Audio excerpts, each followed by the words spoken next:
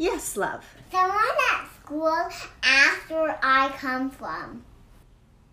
Okay, and what did you say? I said Walmart. What? You listen to me. You are not from Walmart. You are from Target, and don't let anyone tell you otherwise.